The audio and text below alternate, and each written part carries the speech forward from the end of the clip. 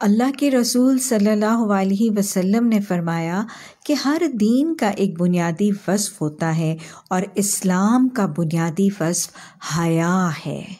और हया के बारे में एक और सही हदीस के अल्फाज हैं कि नहीं लाती हया मगर खैर।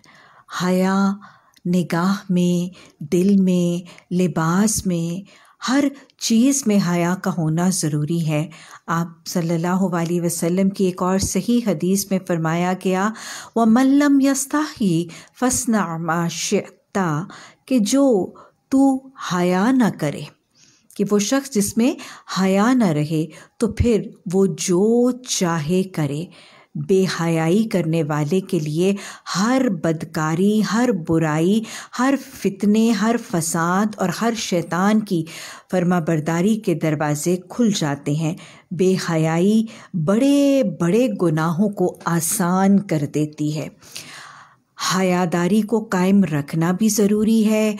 हया को कायम रखने के लिए कुरान हदीस के अहकाम के मुताबिक अमल करना और अपनी निगाहों को, ज़बानों को, दिलों को, अपने लिबासों और अपने जिस्मों के अहकाम कुरान और हदीस की हदूद के मुताबिक अपनाना भी ज़रूरी है।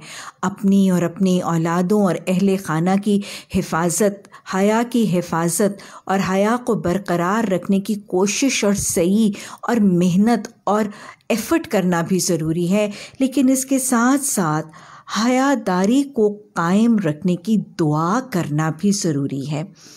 अल्लाह के रसूल सल्लल्लाहु अलैहि वसल्लम ने एक बहुत ही खूबसूरत और जामे सी दुआ में हया के अलावा भी तीन और चीज़ों की दुआ की। बहुत खूबसूरत अल्फाज हैं।